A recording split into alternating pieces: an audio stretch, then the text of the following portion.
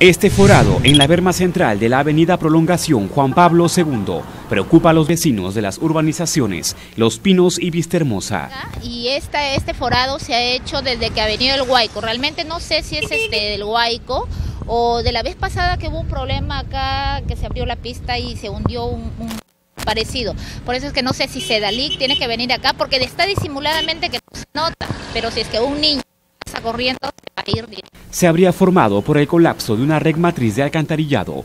Tiene aproximadamente dos metros y medio de profundidad y es difícil advertirlo entre la tierra y el concreto.